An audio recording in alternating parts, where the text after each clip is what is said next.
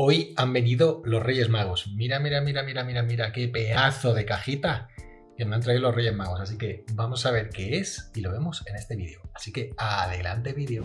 ¿Sabéis lo que es un niño con zapatos nuevos? Pues ese soy yo ahora mismo. Así que vamos a abrir. A ver cómo es esto. ¡Yepa! Aquí y aquí. A ver, a ver qué trae. A ver.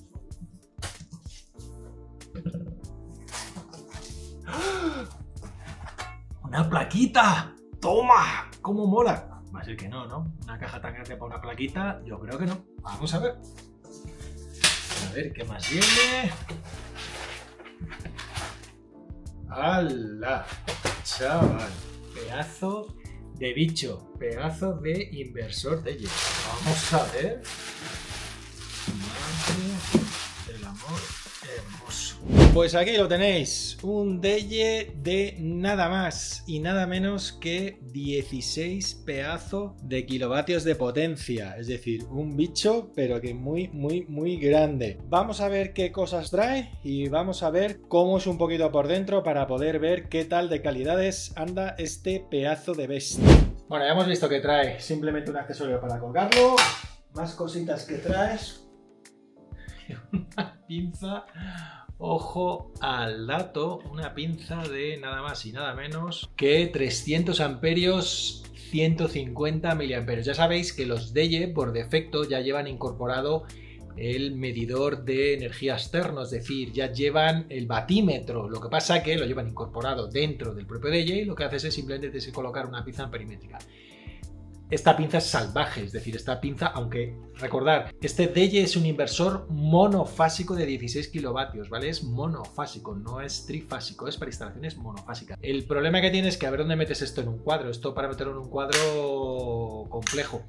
La parte positiva es que estos son 300 amperios, 150 miliamperios, es decir, que mide hasta 300 amperios y da 150 miliamperios. ¿Qué parte positiva hay? Que yo tengo de mis antiguos medidores estas pinzas que tienen un tamaño mucho más aceptable para ser metidas dentro del cuadro, que son de 100 amperios, 50 miliamperios, es decir, que es exactamente proporcional a esta, van a medir exactamente lo mismo. Cuando esta mide 300 amperios da 150, que es tres veces 50 miliamperios, con lo cual esta pinza y esta pinza va a medir exactamente lo mismo. La única diferencia es que obviamente esta se me queda en 100 amperios. Yo nunca voy a poder medir 100 amperios desde el grid porque mi máxima potencia contratada es eh, 8 kilovatios y en el peor de los casos serían 15 kilovatios, que es lo máximo que se permite en España en monofásico, con lo cual estamos hablando de unos 63 amperios. Léase, esto nunca va a llegar a 100 amperios, con lo cual esta pinza es la que voy a instalar y no está más que nada porque que esto no me cabe en el cuadro, esto es demasiado grande. Su correspondiente manual, como tiene que ser, donde además ahora vamos a ver las características exactas que soporta este inversor, muy importante sobre todo para el caso de instalación, que ya veremos cómo apañamos. Convertidor wifi, ya sabéis, para poder darle wifi al el al, Deye y a conseguir dos cosas. Primero, conseguir conectar el inversor con la aplicación de SolarMan, con lo cual poder controlar en remoto el inversor y no solo controlar en remoto el inversor, sino que te puedan dar soporte tanto tu distribuidor como la gente de Deye, es decir, poder conseguir que tengamos soporte sobre el inversor, ya que al tenerlo conectado a internet te van a poder dar soporte. Pero no solo eso, sino que además vamos a poder conectarnos localmente, no remotamente, localmente al inversor y poder obtener sus datos, que ya lo veremos en futuros capítulos, cómo obtener y configurar todos los datos desde local de una manera fácil y sencilla y que nos va a dar una versatilidad sobre este DEYE brutal. Y luego una bolsita que tiene, que vienen un montón de cositas, que son los tornillos, pedazos tornillacos para hormigón, para colocar la piececita y colgarlo, para ponerle a los cables para que no metan ruido, pedazo de bobinas, no están nada mal. Un cable de red por si lo preferimos o por si lo tenemos que conectar tanto en paralelo como conectarlo con una batería, pues se utiliza el cable de red. Sonda de temperatura para la batería. La batería se le puede poner una sonda de temperatura que se la manda al DJ y el DJ está informado de la temperatura que tiene la batería. Y esto es lo que más me ha gustado. Una pedazo de llave Allen además bien buena, ¿eh? Estas llaves, pero que bien buena para desmontar y no solo para desmontar, o sea, realmente no es para desmontar los tornillos del, del porque de hecho, de hecho no es la llave del desmontaje, sino que es la llave de los tornillos que lleva dentro el DJ para apretarlos en plan bien y, que no se queden flojos, ya que realmente va a pasar mucha intensidad por este bicharraco y hay que tener los cales bien, bien, bien, bien, bien apretados, ¿eh? que no se nos olvide. No sabéis lo que me ha costado sacar el bicho de aquí, de la cajita. Madre mía, yo solito no sabía lo que me ha costado. Vamos a hablar un poquito de características técnicas de este bicharraco y además lo vamos a poner en comparación con otros inversores para que veáis un poco eh, la bestia de la que estamos hablando.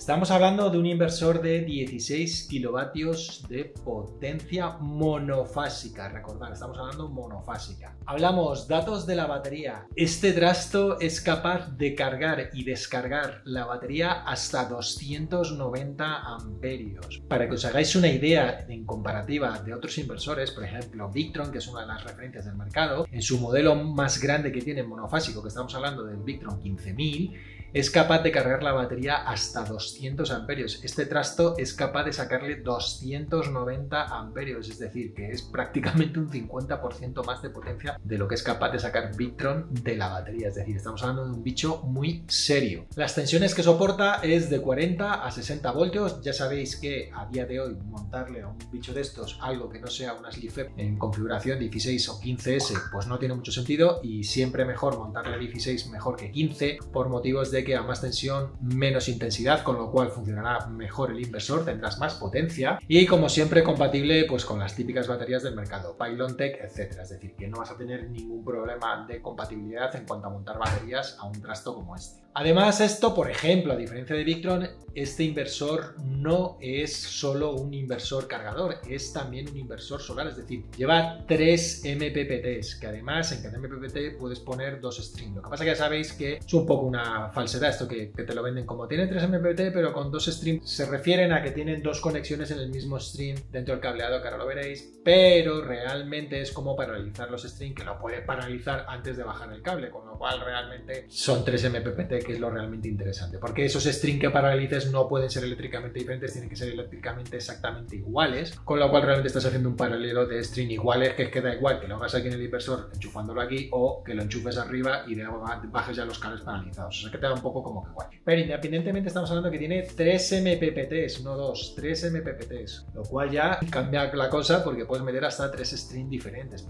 Soporta hasta 20.800 vatio pico de potencia solar es una salvajada. Los strings le podemos meter de 125 a 500 voltios, sabiendo que el rango de MPPT está entre 150 y 425 voltios, y los strings arrancan con una tensión de 125 voltios, es decir, que necesitáis al menos 125 voltios para que el MPPT arranque. ¿Qué significa esto? Que mínimo, si tenéis placas de 40 voltios, pues mínimo vais a necesitar 3-4 placas para llegar a esos 125 voltios y que el string arranque, si no, nos va a arrancar, con lo cual no podéis poner un string, por ejemplo, por de dos placas, porque no arrancaría. ¿Hasta qué, de qué intensidad son estos strings? Son de hasta 26 amperios, lo que significa que le puedes meter placas de las nuevas, que suelen estar en unos 13 amperios, se la puedes meter duplicadas, es decir, le puedes, no duplicadas, paralizadas, perdón, le puedes meter dos, dos strings paralizados de 13 amperios y te vas a 26 amperios. Con un pico máximo de 44 amperios por MPPT, es decir, que aguanta lo que le echen este trastito.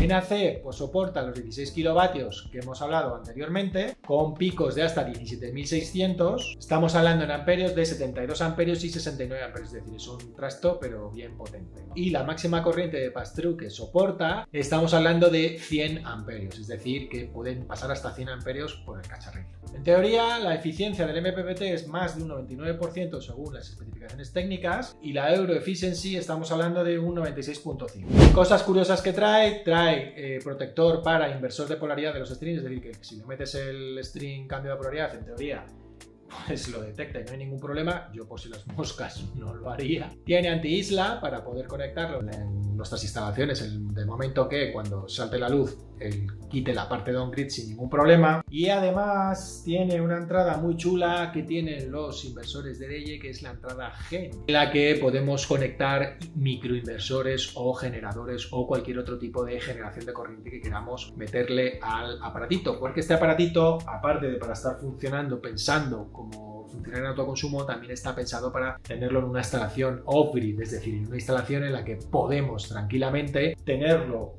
con unas baterías en un sitio en el que no tengamos red y que arranque un generador para cuando no tengamos ya batería ni tengamos sol, pues no nos quedemos sin corriente eléctrica. Vamos a abrirlo un poquito por dentro y vamos a ver qué pinta tiene esto por dentro, a ver si parece tan chulo como aparentemente es.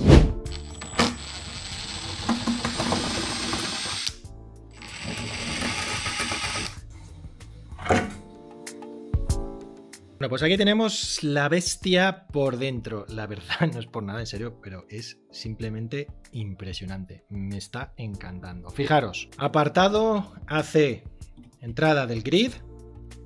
Fijaros qué pedazo de bornas de conexión. Con razón trae la herramienta. Fijaros la pedazo borna que lleva, que la herramienta que trae el cacharro es para esto. Es para apretar y aflojar las bornas, que son de cable de 35 milímetros. Os lleva para hasta meterle cable de 35 milímetros. Se dice pronto. Cosas chulas, tiene el puerto del grid, el puerto, las críticas, ¿vale? El de cargas críticas. Y tiene el puerto para los microinversores. Le puedes meter microinversores. Que además yo se los voy a meter, por cierto. Fijaros, aquí tenemos los puertos, donde tenemos los puertos, aquí eh, son las conexiones de la temperatura del sensor de batería y para las pinzas amperimétricas para medir los consumos. En este caso, como ser monofósica, solo va a llevar una y no va a tener más. Las conexiones de los string, lo que os decía antes, lleva tres eh, MPPTs, lo ves, PB1, PB1 menos, PB2 más, PB2 más, PB3 más. Lo que pasa que lleva para poder conectar dos MPPTs por string, es decir, que tiene dos conexiones en cada Tiene dos conexioncitas para cada string y así podéis pues meterle dos strings que ya sabéis que tienen que ser eléctricamente iguales, es decir, tienen que estar orientados al mismo sitio y tienen que tener el mismo número de paneles y mismo tipo de paneles, importante. Los puertos de comunicación, puertos de comunicación tanto de batería, de paralelo, por si quieres poner en paralelo, los puedes colocar tanto en paralelo para dar más potencia en monofásica como en paralelo para hacer trifásica, es decir, este cacharro le puedes hacer con tres, lógicamente, puedes crearte un instalación de pues 16x3 en trifásica. Podrías eh, ponerlos en trifásica. Tiene para puerto CAN bus, para puerto RS485, conexión de baterías y todo el rollo. Y ahora la parte que a mí casi, casi más me ha gustado, que es la parte del DC. Fijaros que la parte del DC viene duplicada. Veis que aquí pone battery más y battery menos. ¿Por qué? Es que aquí tienes que meterle 290 amperios. Entonces, 290 amperios en un solo conector va a ser un poquito complicado. Así que, ¿qué es lo que te está diciendo aquí el invento? Que le conectes dos cables por borna. Es decir, que si vas a conectarlo, no solo le pongas un cable, sino que le pongas dos. El cable de 50 milímetros y lo que haces es le pones dos cables de 50 milímetros. Es decir, le estás poniendo 100 milímetros de cable a la batería para que soporte los 290 amperios que le vamos a poner. Además, fijaros, es que trae interruptores de 200 amperios cada uno para parar el eh, inversor y que para lo que sea salte y poder cortar la parte de, C, la parte de la batería, con lo cual la verdad que está bastante interesante. Y bueno, vamos a abrirlo también por dentro a ver qué es lo que tenemos. Pues aquí tenemos cómo está hecho el DJ por dentro. Fijaros, ventiladores por todos los lados, también tiene ventiladores laterales, pero aquí tiene un pedazo de ventilador para directamente estos componentes exactamente, no sé lo que son, no sé exactamente muy bien, lo que sí que se ve claramente por ahí abajo son unos pedazos condensadores del 14000, lleva unos condensadores salvajes y este si os fijáis es de alta frecuencia, es decir, no lleva transformadores mega gigantes estilo Victron, es otro tipo de tecnología que obviamente hace que primero el aparato pese mucho menos y el aparato pues rinda bastante, pero bueno, ya eso para gustos, ya sabéis, colores. Pero como podéis observar, aquí prácticamente casi todo es electrónica, pero la verdad que está muy, muy chulo. Como todos los Deyes, en el lateral lleva el corte del DC para cortar paneles y batería y el botón de encendido on-off que lo lleva en el lateral. Por la parte baja, pues todos los puertos para entrar a las conexiones que hemos visto antes, los string, las comunicaciones, ¿veis? Aquí tenemos la entrada para un cable de batería, la entrada para otro cable de batería, string 1, string 2, string 3, el puerto GEN, puerto LOAD, puerto grid para el wifi y los puertos de comunicación. Diferencia de los modelos de 8 kilovatios que las tomas de refrigeración son laterales y el flujo de aire circula de izquierda a derecha en esto está pensado desde mi punto de vista de una manera más racional que es de abajo arriba, es decir, tiene tomas por abajo, tomas por arriba y lo que hace el aparato es generar una corriente de ventilación de abajo arriba para que lógicamente que el calor tienda a subir, pues desde abajo metes aire frío y sacas por arriba aire caliente. A diferencia os digo que este mismo modelo en 8 kilovatios el flujo de aire es lateral, que es un poquito desde mi punto de vista un poquito menos eficiente. Bueno, pues ya hemos visto las características de esta bestia, así que de verdad que ya no aguanto más sin ponerme a montarlo, así que vamos a montarlo y en el siguiente vídeo os cuento un poco qué problemas tiene para montar en mi instalación y qué cambios y qué cosas tengo que hacer. Venga, nos vemos en el siguiente vídeo. Un saludo.